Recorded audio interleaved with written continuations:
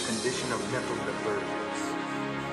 Find myself on the planet Logo, all of intellectual dimension, preparing to subjugate the barbarian hordes on Pluto.